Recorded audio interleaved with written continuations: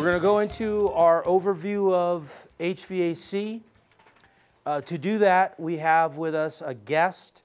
His name is Greg White. He's with Energy One Energy Corporation, and he has been in the HVAC industry for well, well, well over 20 years. What is HVAC? Heating, ventilation, and air conditioning. The goal of this session to provide a basic knowledge to the HVAC concept, how to inspect HVAC systems, introduction to tools and materials for ductwork installation. Now, a lot of people don't understand about ventilation, but it's like in a room here that is the doors are closed and everything is closed. You still have to have air circulating throughout the room. Now, this is the HVAC TAS. Heats when, it, when it's cold, cool when it's hot humidify when it's dry, dehumidify when it's wet. Bring in outside air, circulate inside air, exhaust strong pollutant point sources, filter the air, do all this when needed without noise, vibrations, and drafts. This is a map of the heating versus the cooling climate. Now, as you can tell, on the west coast, northwest, we got the marine, the hot, dry mix down here, hot, humid, mixed humid, and cold and very cold. Now, different ways of heating and cooling your home.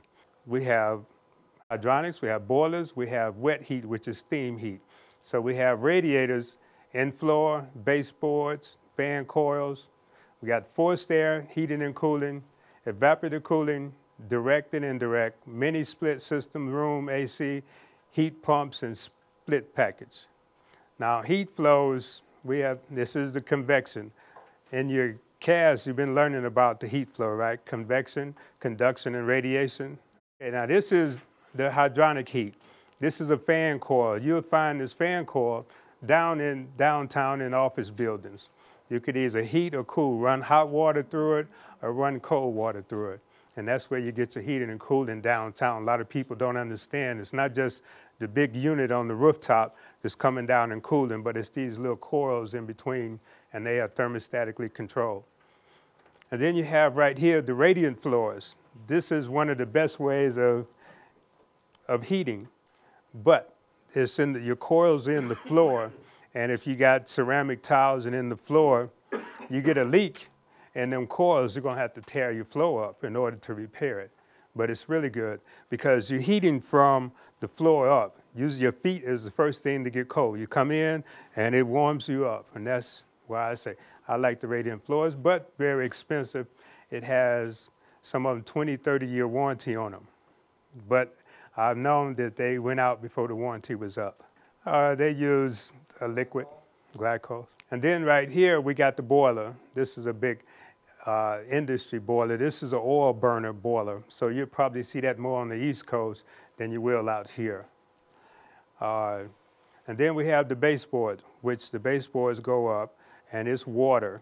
That you can have the baseboards around the room. They're connected up to the boiler. It'll come up temperature sometimes on the baseboard, 180, 190, and your heat will come off of there. Then you got the radiators here, and the radiators, that's just steam. We still have steam heat here. The East Coast, they really have them out there a lot, but we got steel in the radiator. So you just have to know the difference. Sometimes these little connections on the radiator, the ends right here may leak and everything, and you get a problem, but they're good also, and then also they put moisture in the air. Like a lot of times you'll see places where they got the windows steamed up and they got their windows up. You can, they probably got a radiator in there. The hydronic heating, this is the way that it's heated. You got the city water here, and the city water comes in, it comes into a fill valve. It goes and it comes down into the boiler it get heated up, come back through. You got a circulating pump. You got an expansion tank here. So you got the you got the air vent right here that lets air come out, purge it once it starts. You got the circulator right here, the pump that supplies it to your baseboard heat.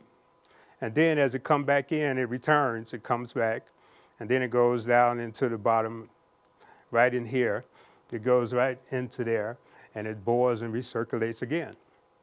This right here, out of all of them, the forced air, I like the boiler types. The boilers, they last a long time. They'll last you for 30 plus years if you maintain them. The problem is, is that people do not maintain the boilers. They say, okay, well, I go turn it on when it gets cold and then gets to the run. And they see leaks and leaks and rust and they let it go. Leaks do not fix themselves. But if you maintain these boilers and service them, they'll last you. And they're really good too. They can run to install. You can look at them from eight to ten thousand dollars up. Okay, and uh, but they're good. This is the advantage of the hydronic heat is comfort, especially radiant floors, efficiency, it do not remove moisture, the zoning, the boiler efficiency. You got 80% non-condensing, you got a 90% non-condensing, which the 80% is a metal flue pipe, and the 90% is PVC flue pipes. The disadvantage is cost. It's more expensive to add AC, and leaks can be a problem. Now, the one thing is, is that when we talk about zone, when we talk about zoning up here, zoning means that we can take this room and split it up into four different sections. And we don't have to heat this whole area like we do with forced air. We can have a thermostat in this section, we can have a thermostat in that room, and that room, okay? And that's what it means about zoning. That's why it works a lot, it's a lot efficient. Okay, the different types of forced air furnace that we have are the upflow. The upflow normally would be in your basement and it supplies air up into your ductwork. Then the next one we have the downflow. You usually find the downflow in a closet space and it, the air would be forced down and come out of the vents on the floors. The horizontal, you would find that in the attics or crawl space. The single stage, which is just one stage that comes on at 80%, it'll just heat up when it gets to a certain temperature, it'll shut down. We have the two stage, which you have a low fire and you have a high fire.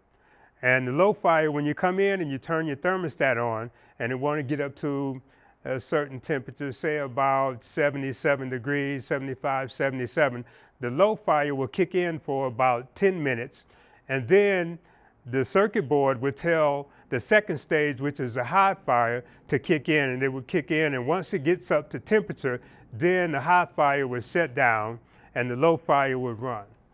Now, you also have the variable speed two stage. Variable speed is that you have the motor that can ramp up, which is RPMs, to 850 RPMs. Then also it can go to 1050 RPMs. So it adjusts as the heating comes on. And it adjusts as the blower, as it gets high, then it'll drop, it'll go up higher. As the temperature drops down, then it'll drop down to 850 RPMs, and you can barely hear it flow, but it's still circulating. You also now have the variable speed modulating, which the variable speed, just as I explained, it goes to 850 RPMs and it will go to 1050 RPMs. Also, the modulating is where the temperature outside, let's say the temperature is about 35 degrees. The gas valve will adjust it, will modulate to 35% of the efficiency of the furnace, of the fuel that's coming in. That's what the modulating is. The one that I replace the most is the upflow. The types of fuel that we have is natural gas. We have propane and we have electric. Now this is a forced air furnace. This is, uh, this is a flue right here. This is a supply, can't really see that, but that's the supply. You warm air to the house. You got your inducer draft motor right here, inducer draft fan. Now if this does not work, that doesn't come on, the furnace is not gonna work at all because what the draft inducer draft fan does is if there's any kind of gases that's left up in the heat exchanger, it flues it out, takes it out. In other words, it's kind of a safety. It is a safety issue there. Then you got the gas valve here. You got your filter down on the bottom. You got your cold air return. You got your circulating fan right here, the blower that comes in there. The furnace maintenance, monthly change of filters, type one. Well, monthly, I suggest to people in the summertime when you turn your air conditioner on to change the filter monthly because you're messing with humidity and the dirt will get on the evaporator coils. And therefore, if you don't change your filter get dirty, it's going to plug your coils up and the efficiency of your air conditioner and your furnace is going to go down. Okay. And so I tell people in the summertime when they're changing the filters once a month. Wintertime, I tell them every two months, and people are lazy, they'll change it every three months, okay? It's just like oil in your car, you know, it's a change it 3,000 miles, you wait 4,000 and change it, okay? You have to thoroughly clean the furnace, check all sensors. We got safety sensors on the furnaces that tell you certain things. We got flame sensors on there. So you have to have people to come out and look at it and check and make sure all your safety sensors are working. Check the gas valve pressure. Uh, the pressure on the gas valve should be like three and a half inches of water column. Now, I was working on a furnace and I went to the furnace and the registers were so hot to the touch. And the customer says, and the furnace was just like blowing, rearing like a torch. And so once I put my gas pressure meter on there and I found out it was high, it was like four and a half, five inches of water column. And when I adjusted back down to three and a half inches of water column, then everything was okay. And I do this, I say to check the gas pressures every time you get on a furnace. And it doesn't take a long time because people go on there and they start adjusting, taking the screwdriver and turning things up, and you never know what they do, okay? So I do that as far as a safety issue. You check the heat rise across the furnace. Now, heat rise is your heat that's going out of the furnace and the heat that's coming back in from the house, it's temperature difference. If you get somewhere around uh, 22, more than 24 inch temperature difference within your reading, then you got a problem somewhere in your house. Okay, there's a, and so we check that. Visually check for cracked heat exchangers with the furnace off, I may say. Okay, uh, flashlight, a mirror that will pull out and you can look in there and look and check for cracks. Test for CO in the exhaust output. The one thing that I do is I have my CO meter and when I go into a house, I always put it on the side of my belt, turn it on, put it on the side of my belt, and I will check the furnace for CO, always. Because the one thing about it is, it's about safety when you go into customers' house, houses you can't assume anything. You know, well, I don't smell CO. You can't smell CO, okay? And so you have your meter on you and you check that. Now, furnace and boilers efficiency, the 66 to 75% non-condensing has metal flue and a draft diverter. 80% non-condensing requires metal flue pipes intake, has fan assisted. That was the one like I showed you, they had the fan on it. 90% condensing has PVC exhaust flues and PVC air intake. This right here is the annual fuel utilization efficiency. It's the percentage of the annual average efficiency of a furnace. You may talk about uh, 80%, 70%, 80%, 90%, 92%. That's the efficiency. Now your Energy Star requires an AFUE of 90% or better. So when you get into a 90 percenter or a 92 percenter, then it's a lot energy efficient. That's what the Energy Star requires. And they say that you, uh, you're saving a lot of energy at that point when you get on 90 and 92%. Now identify the appliances, the fuel type, exhaust, the draft types, uh, and efficiency. Now this furnace right here, if I saw this furnace in your house and you wanted me to come and repair it, I'd probably tell you you need to replace it. And, and sometimes there's a point that you have to look at a furnace and says, that furnace is about 30 years old. You're like, I, I can't bring that back to life, okay, no matter what you do. And you know its problems and you talk to the customer about replacing it. Now this is the 66% to 73% efficiency. This does not have an inducer draft motor on it. It's just got a diverter. And there go the flue right there. There go the supply. You got the heat exchanger. You got the draft hood. You got the burners right here. You got your circulating fan. You got your motor right here. You got your combustion air that comes right into, there's a door and it's got vents on there, you come there. You got your air filter and you got your cold air return. Now this right here is an 80% efficient furnace. This here right there, that's your inducer draft motor. That's your gas valve. These are your burners right in here. That's the circuit board down here. And your circuit board controls a whole lot more of the furnace, what people think. It controls everything on the furnace. And uh, you got your blower motor. Now here you got your heat exchanger right here. There was a problem that we had, our, me and a partner ran into on a furnace like this. And we kept looking, the flame was, instead of going straight into the heat exchanger, it was coming up like this. And we were wondering why. And so we looked and we searched all over. We couldn't find the problem. We changed the gas valve, thought maybe it's too much gas. We changed that and changed the circuit board. And then finally, we decided to take the evaporator apart, take the plenum apart, and pull the blower out. And we pulled them out. Now, right here, you got some little eyelids that you can see right there that is here. Uh, what had happened, they get stamped together at the factory. Somebody had adjusted the gas pressure up so high that it heated up the heat exchanger and it popped the eyelids. Okay? So it was a matter of time before carbon monoxide was going to get into the lady's house. But once we done that and took it all apart, see, it was like, okay, and we had to replace that furnace. But uh, a lot of times problems, you always think that it might be one thing and it's another. Never tell a person they got a cracked heat exchanger until you can really identify that they have a cracked heat exchanger when you can say, this is the problem. So we couldn't tell a customer until we found out that was the problem. Now this right here is a 90% efficiency York furnace.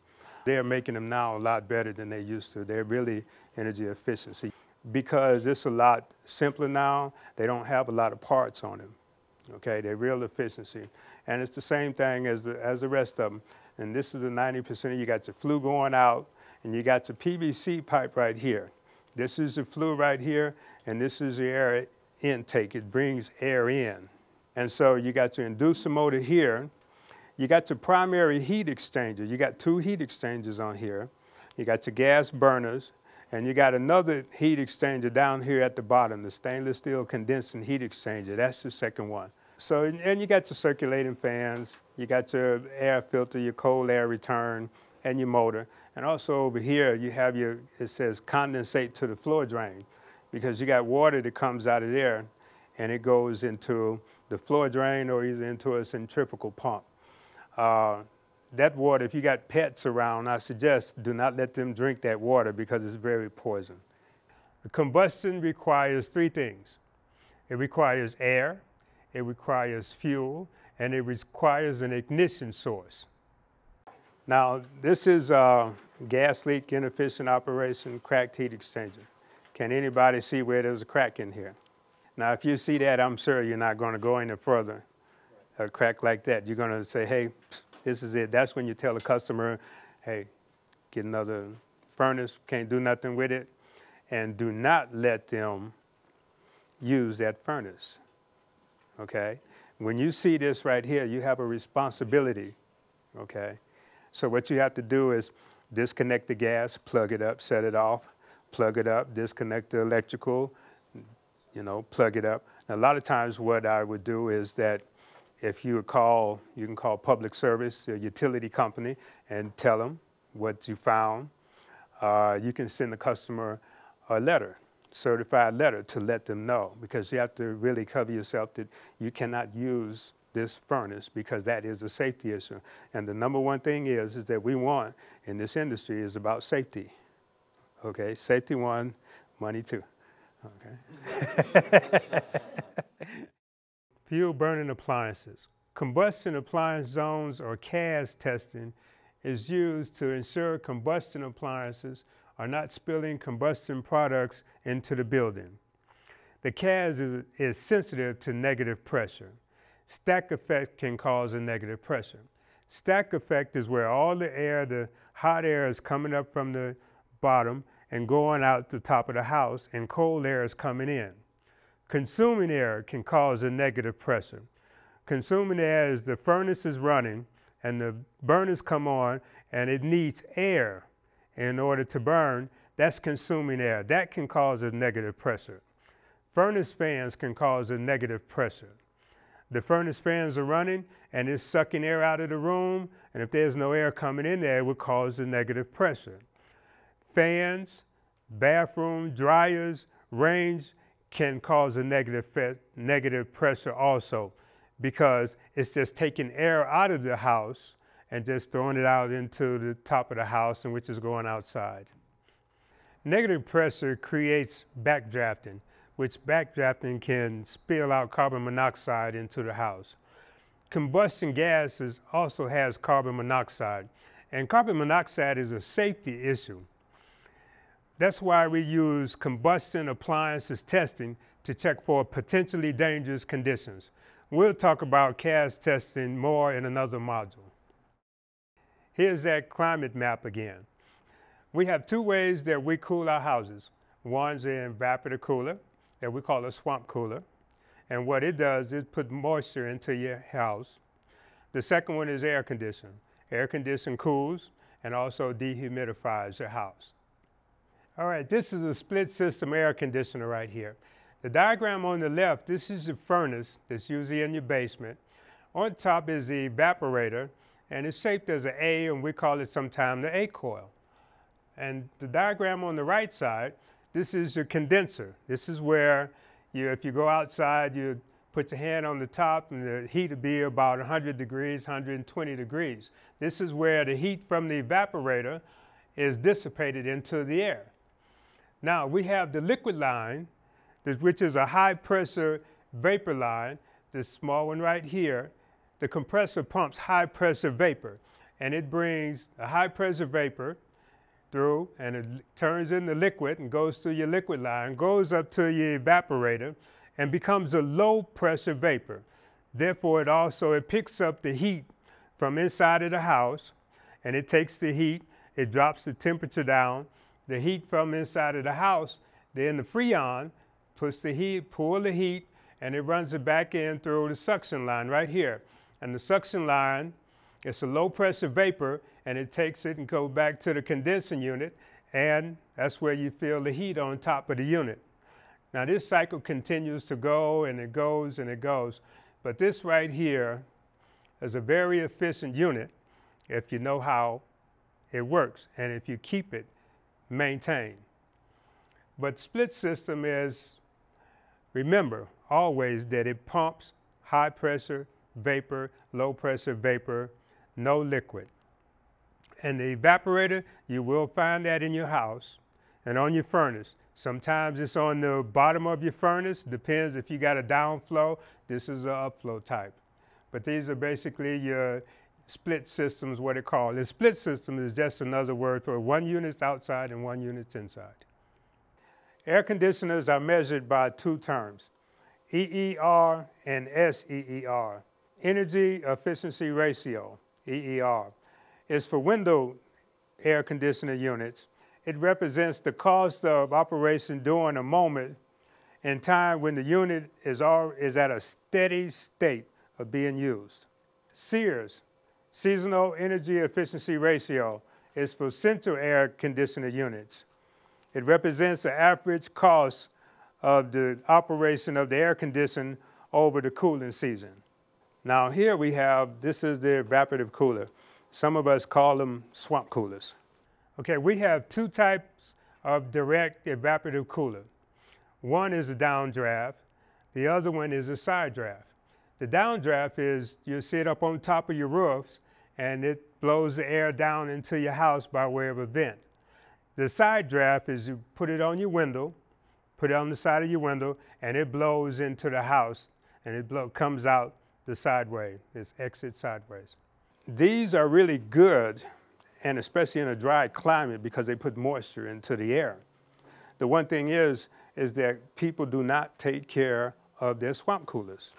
All right, they say they don't drain them, they don't put antibacterial tablets in there, they don't have a service. And then when a tech or a company comes out and wants to service it, and they tell you, well, it's going to cost you $250, $200, $30 in, in average. And, and then you look at it, I'm like, well, what? Say, well, when the last time you had it serviced? Oh, five years ago. Come, come on.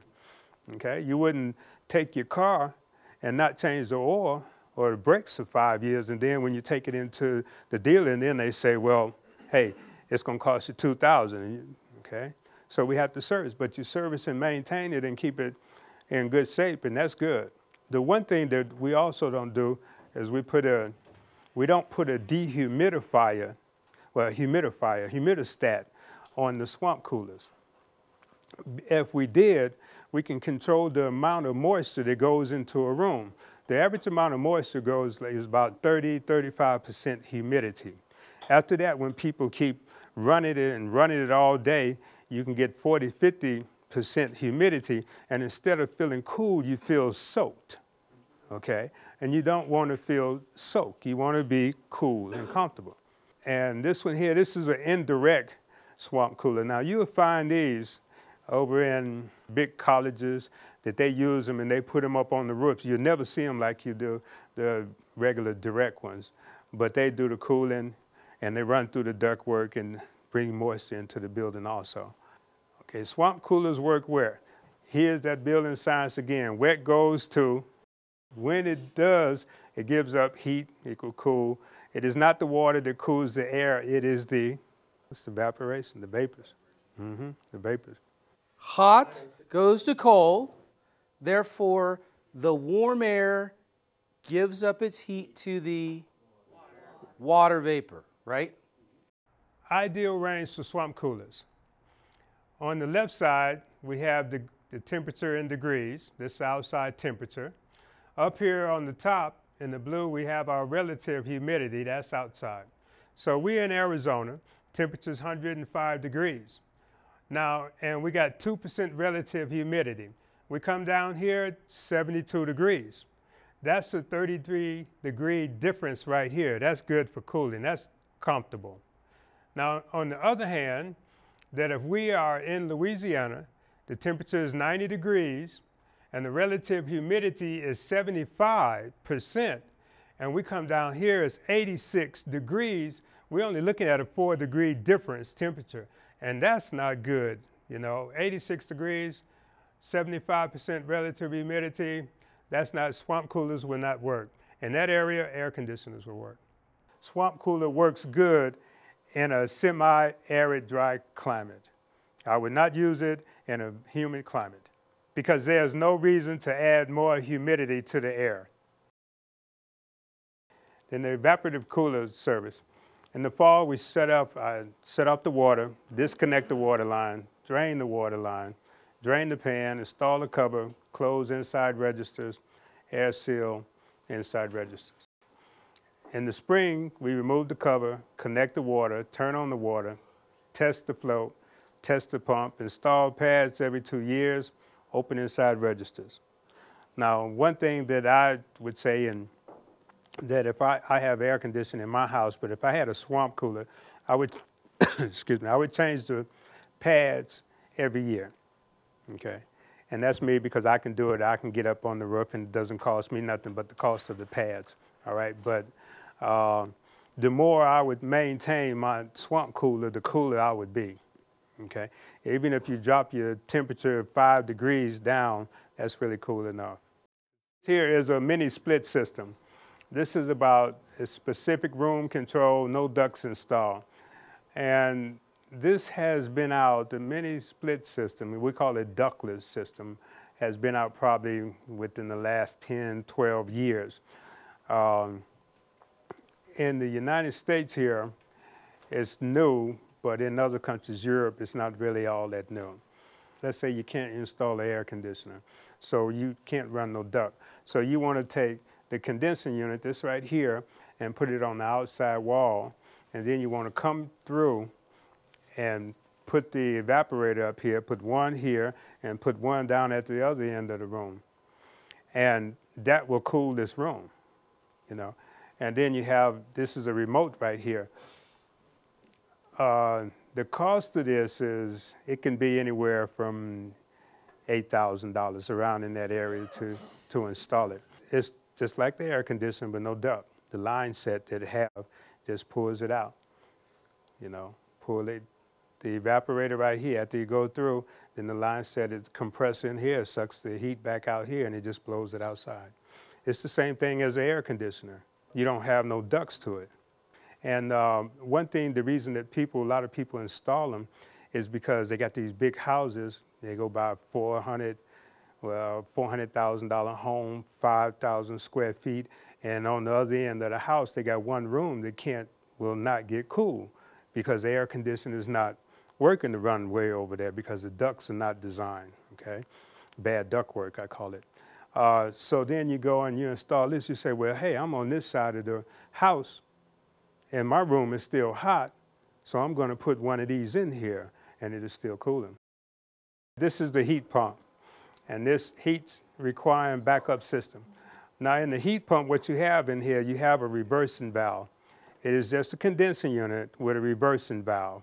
Instead of putting here in the wintertime, instead of taking the heat and blowing it outside like here in, in the summertime, they take the heat and reverse it and they blows it into the house and come back and it goes through. This is the evaporator. The evaporator gets hot. This is the condenser right here. And the outside air is cool. But the one thing that you do need, you got to have this furnace. You have to have a backup furnace, okay? Because if we get down to about, let's say five degrees, it ain't gonna work, okay? So you got to have a backup. But this is energy efficient. It's the most efficient. It's an air conditioner, a condensing unit. Yeah, it, it works. And in the summertime, you go switch it and you turn it to the air conditioner. So you're still getting the same effect, okay? They just have a reversing valve inside of it that switches it from right here, instead of the cool air going out, instead of the hot air going out, the hot air goes into the house. Right down here, the hot air, the heated air is going out, and then it's going, the cool air is going into the house. So it's just reversing what it does. And, and don't get it confused to thinking that uh, it's something different from your air conditioner. It's just the reversing valve in there, which is very efficient. And the heat pump's been around for a long time. One thing, in the hotels, you go into your hotels and you go to the window and you hit the button and you want cooling and the cool comes in and then you want it to be warm and heat comes out, that's your heat pump. Now in this one, the HVAC system size, we're going to do load calculation, heat loss, gain, duct sizing. The duct sizing, that's when you're building a new house. Once your house is built, you can't go in and redo your duct work. You can, it'll cost you some money. A lot of the ducts in the old houses, the houses that are 100 years old, were not made for air conditioning. Okay, they were just made for heat and gravity flow. So now we coming into today's technology and trying to put a three ton, three and a half ton blower in to go through a duct that was this size for gravity flow. Duct sizing, when you can get it right, get it right. Okay, if I had a house, am I, I'd tear the walls out and go in and redo all the duct work and get it done right. Is it better to oversize or undersize? Air conditioner or furnace, is it better to oversize or undersize? Better to oversize and somebody can come up and say, well, it's better undersized, you know, but you're going to have, you're going to, but it's what it is to get it correct, size it correctly. And that's why you got to come in and do your heat load calculations, the heat loss and the gain, okay? Yeah, either way it goes, you know, you got to size it correctly. Now, with the heat load in here, like for instance, take all these lights up here, Every one of them got a certain amount of heat on them. I think they might be 40 watts, 40, 45 watts, 277 volts. That's light. Take all the bodies that's in here times 98.6, take the carpet, take the walls, take the paints, take the tile, take all of this. This is what you have to do to find out what size you need to do. The windows, how many panes are got in there, okay? And you come up I take it to my suppliers once I do all that and get the numbers, and then they come back and tell me, well, okay, in here we can put a two-ton AC in here. We can put uh, go with a 60,000 BTU instead of an 80,000 BTU furnace. Uh, the best thing to do is to size it correctly and to understand how you get the heat load calculation. I include even these bricks. In the summertime when it's hot, heat's coming off of them bricks. In the wintertime when it's cold, cold's coming off the bricks. Okay, so you have to take all that into consideration. Now, this is a heat load, And this right here, this is the winter heat load, but this is the whole envelope of the building right here. And when you do a heat load calculation, you have to take in everything in consideration. It's roof and ceiling loss, the loss through the exposed walls, conduction loss through doors and windows, your ceiling and attic loss, loss partition, duct loss to unconditional space, floor loss to crawl space. So you have to take all this in consideration when you're doing a heat load calculation. And then you got your basement down here, you got your heat for your combustion air, loss through the below grades, all that plays a part in sizing up what kind of, what size air conditioner you need or what size furnace that you need. And this right here is the cooling load. We got half solar, a quarter shell, and a quarter internal loads. And we have the sun here. And we got the, on top of the roof, 100 to 140 degrees. We got gain through exposed walls. We got the attic is 125 degrees. We got external shaded, same as north glass. We got the duct gain. We got the appliances here. We got person in the room. We got the TV. We got the appliance. So all, still again, all of this has to be taken into consideration, which people don't do. A lot of times people want to say, well, uh, what kind of air conditioning you got in there now? Well, I got a three ton, okay, and they want to go by rule of thumb. thumb. And you say, okay, well, we'll put another three ton in there. You know, this will work. Or they want to go up to a four ton. No, that's incorrect. Do the heat load calculation and get the right tonnage that you need for your house. We're talking about energy audits. You're doing that. If we're going to save energy, be a country to save energy, we got to do things correctly, by the book, not because, oh, I think. The house here has a system. Now we have up here, these are your ductworks. Now these are flex type of ducts. The one thing, uh, by code, you can use the flex ducts in the attic but I still like to use the metal ducts because the flex ducts, after a while, they make bends and they cut off the air circulation. Okay. Now, right here, number A, we got a leaky duct connection right here. Number B, right here, we got a return air leak right here. Number C, we got a couch over the return, okay, blocking the register, and a lot of people do that. And if you see that, pull the couch out from, in, from over the register, okay? We usually say pull it about eight inches away from the wall, eight, nine inches, and you're good. Then we got right here D, we got the return. If you go down and look at your filter door, you're gonna see some gaps in there. And so that's a problem. Then you got E right here, falling insulation. Now, don't too many people crawl up in their crawl space and look and see about the insulation. But uh, as you as building analysis, performing analysis people going out, you might have to take a look and go in there and say, hey, okay, this is what's happening, okay, that your insulation has fell down. F, we got supply leaking right here. And then G, we got the kinks right in here. So all, all of this play a part in people in your house and people houses and the comfort and saving on their utility bills and saving on the on the electric, saving on the cooling, and help your house. You want to come in and you want to be comfortable in your house. It's about being comfortable, you know. And once you find all of these little things that's going on, you can. And I guarantee you, your utility bill will drop. Now this is this is your ductwork, and this is a zone system for your ductwork. And this right here that's the furnace and that's your main supply coming off. And this is the trunk. It goes down, sometime it'll start like about uh, 21 inches here and it'll go and it'll go down to 17 inches and then it'll get to 15 inches. And they'll branch off and they branch off and they go into different types of different rooms. You may have two registers in one room, one in another, and this is how, this is all your air. This is your registers and all this. So you got to have a strong enough blower on your furnace to move the air around. That's why it's engineered to do that. Okay, and that's why you got to make sure you get the right type of furnace and the right type of blower. This here is engineered. You can change it a little bit. You can tap in and run some ducts somewhere else. Uh, they make it over that you can do it, but I wouldn't suggest it. All right, this is the ideal duct schematic right here, no leakage. And this is the good, the living space, neutral pressure, return duct at a low pressure right here, buffer space, neutral pressure. This is the furnace. Your supply duct at a high pressure that is supplying the air into the spaces. No buffer space is typically an attic, basement, or crawl space. And that's right there. That's a, up under that neutral space. And a lot of times up under here, the best thing if you insulate this neutral space on the floors, it'll be real good up to the floors. That's it.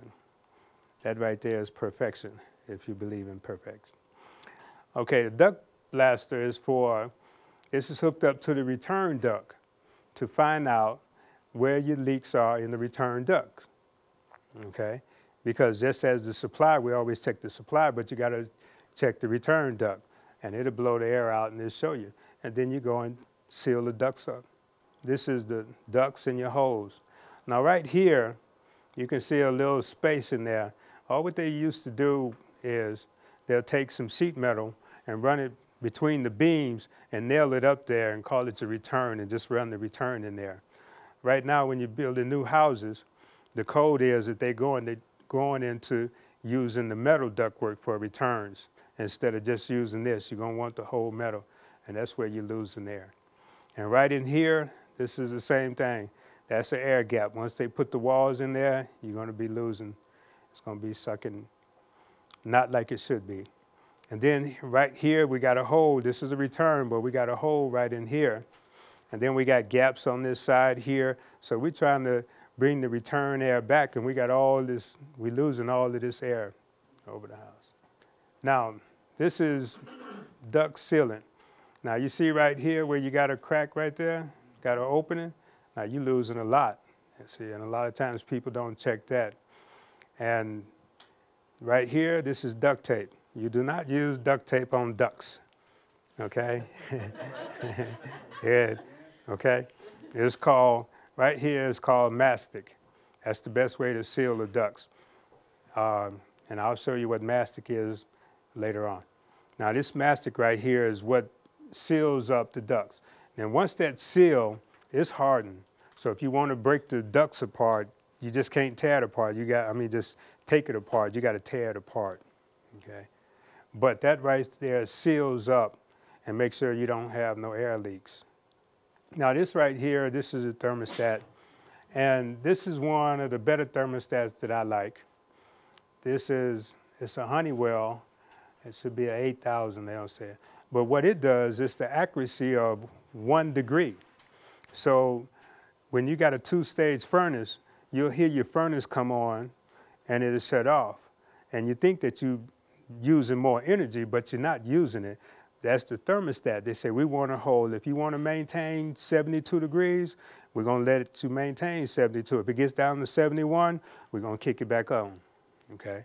uh, and this thermostat also, whatever way you decide to use it, you can program it, but then it will adjust to the way that you decide. If you come in and you want to override it, you don't like 72, you want to get it up to 75, and you do it for a matter of days, then it will adjust to the way that you use it. And so, how is a gas fire furnace efficiency represented? BTUs, okay, and what's another one? 80 percenter, 90 percenter, AFUE, FU, I'll say, and the 80, 90 percenter, 92 percenter. That's how the efficiency is represented. What three things are required for combustion?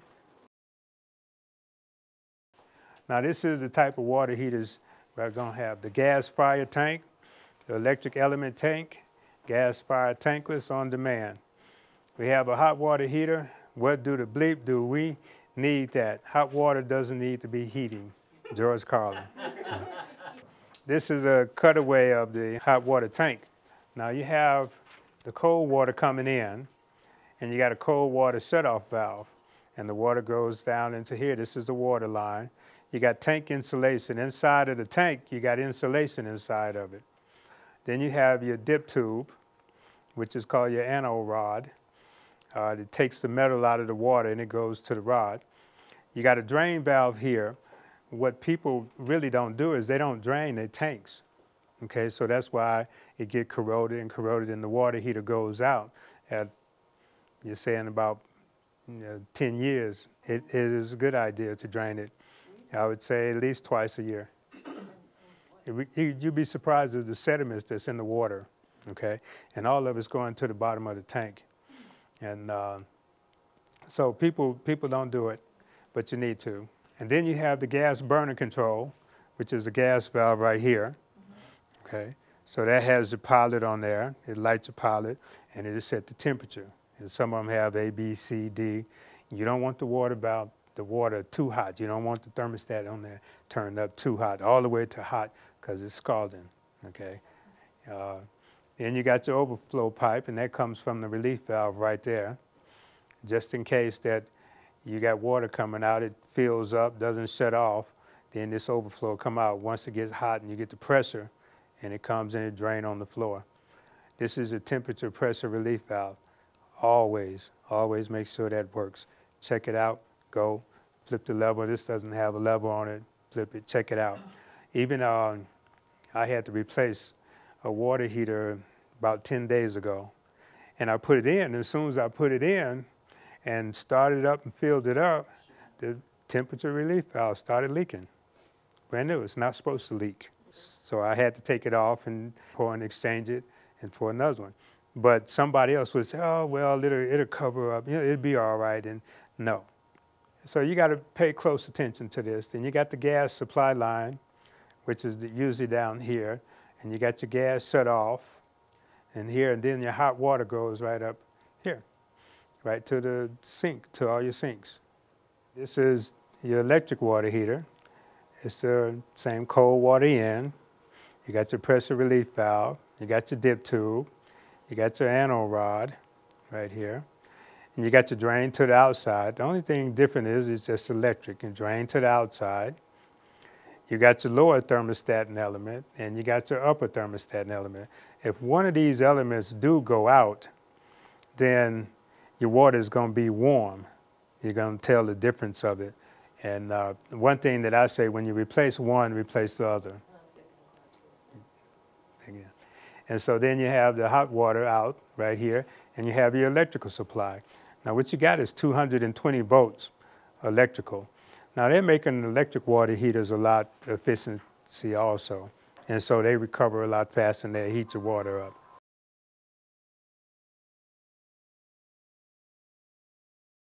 Okay, now, just like you saw that video of the water heater exploding, uh, you were talking about disabling the T&P, but also you find them that they will leak too. If they leak, you got to also change them. You could have a problem with them. But people really don't realize how dangerous water heaters are. They don't, you know, from there. And uh, very dangerous. We, you got to, what I say, safety first, right? Safety first.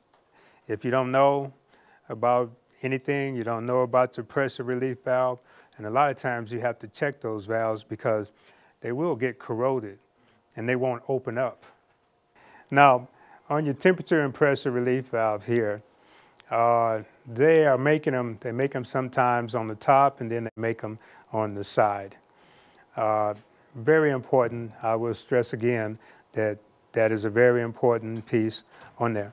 And also when you get the temperature relief valve, some of them might have on there, they open up at 30 pounds of pressure per square inch and they're 100,000 BTU, some of them 200,000, some of them 250,000 BTU.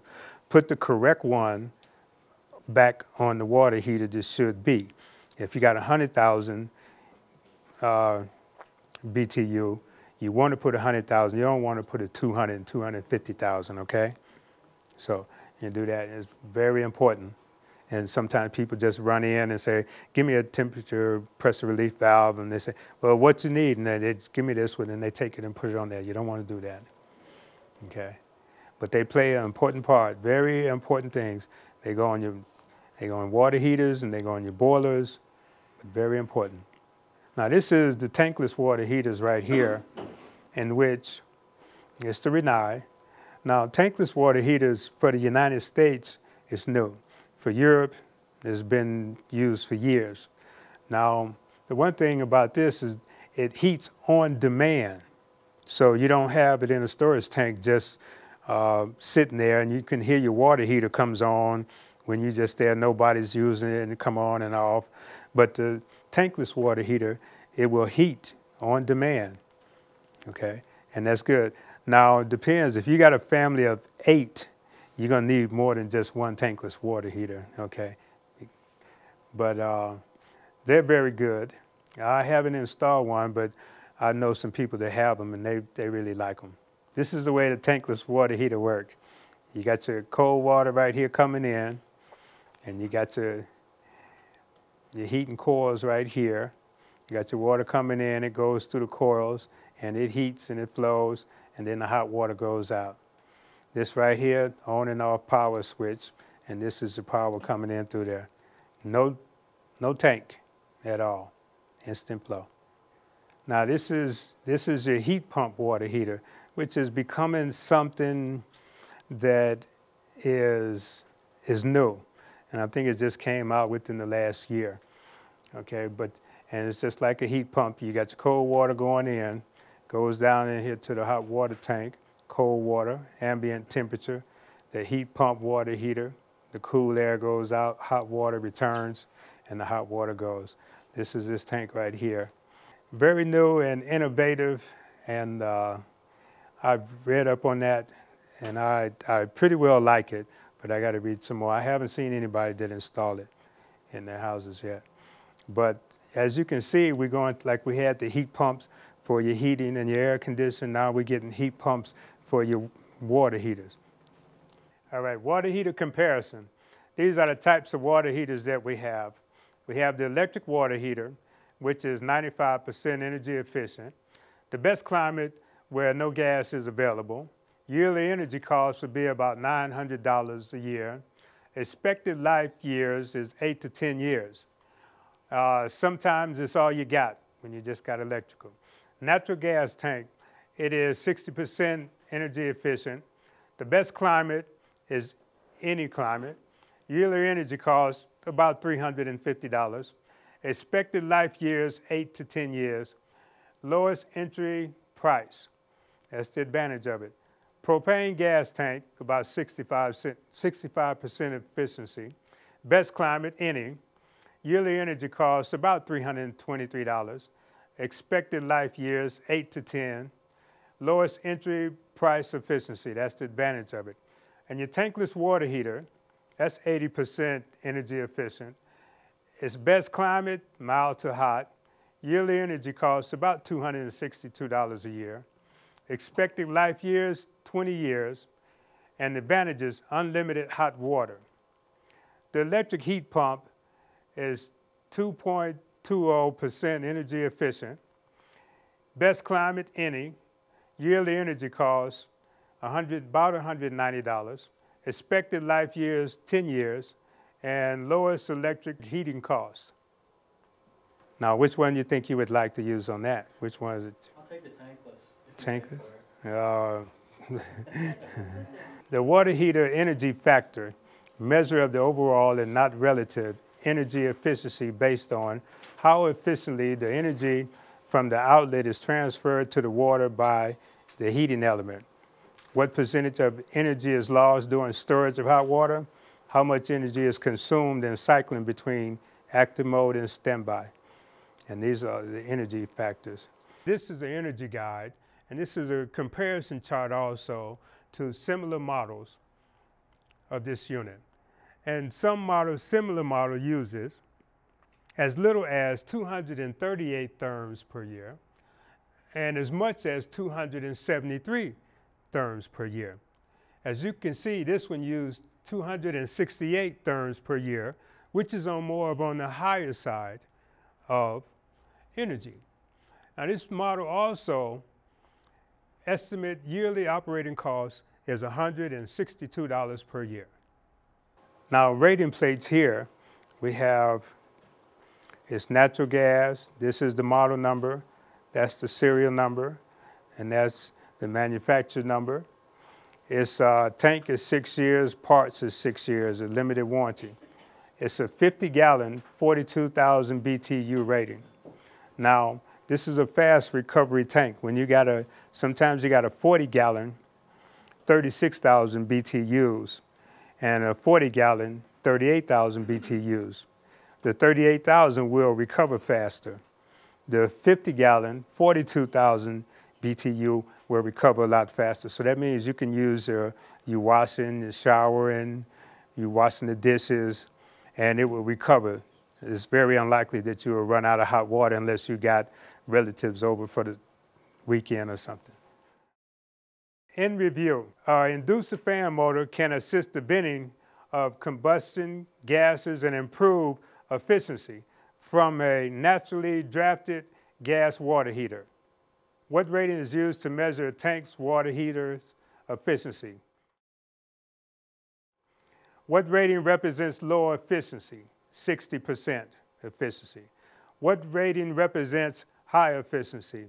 80% efficiency. What HVAC and water heating equipment are part of a home's baseload energy use? Just the water heaters. The water heater is the only one that's running 24 7, 365 days a year. What are common problems associated with gas fired tank water heaters? Flames rollouts, backdrafts. Can you tell us what the anode in a water heater does? Uh, it takes the different metals out of the water and it just, the metals attach to the anodes. So it won't be in your tank and just eat the tank up a lot faster. Uh, the anode rod, I haven't replaced, I only replaced about one. People usually don't replace them, but that's what it does. The more you learn when you start getting into the renewable energy, the going green, the BPI, and the more you know, the more money you make. Okay, if you want to get out into an industry, especially now, how it's just starting and it's just coming about. And, uh, but the one thing is, is knowledge is going to be the key to making the money, okay, and also safety. Now, I have been in the industry about, I said 20 plus years. I don't like to give up. And I've seen changes and constant changes and changes. And now is a good time, it's a great time for people to get into the industry, okay, because uh, solar, wind energy, geothermal. It's all coming up, and I think it's a great time for people. I think it's a great time for myself and other people that want to join. And do not ever think that you're behind the curve or you're behind or you should have got in. You're getting in on the right time now, okay? And it's a good time for everybody. You just got to know what you're doing.